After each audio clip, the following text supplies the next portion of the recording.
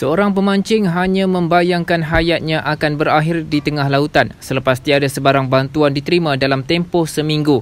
Zairi Nuruddin 50 tahun dari Teluk Intan Perak juga putus harapan apabila cubaannya bersama sembilan pemancing dan tiga kru untuk mendapatkan bantuan daripada bot-bot yang berada berhampiran turut gagal. Katanya pelbagai usaha dilakukan seperti memasang lampu, membakar tayar dan kain untuk menarik perhatian namun tiada bot menghampiri mereka untuk menghulurkan bantuan.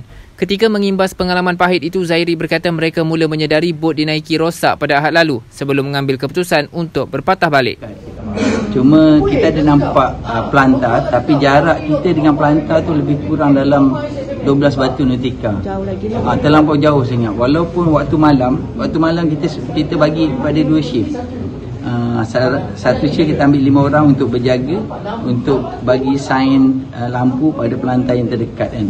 Tapi sepanjang daripada malam sampai ke subuh tak ada satu pun pelantar yang elit So, ha. so harapan masa tu abang kata kan dah betul harapan. So hmm. bila nampak bot tu datang balik. Bila kita kan, nampak bot tu kan saya betul-betul bersyukur hmm. sebesar-besar rahmat pada hmm. kita kan.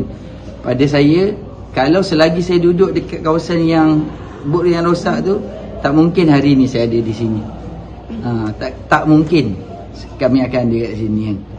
Lepas ni macam mana bang? Nak mancing lagi ke macam mana bang?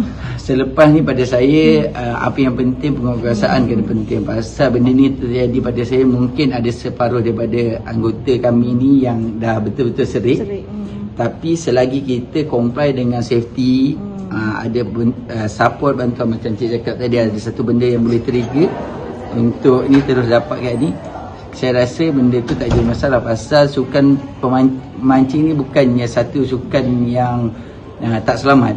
Satu sukan selamat tapi kena ikut prosedur.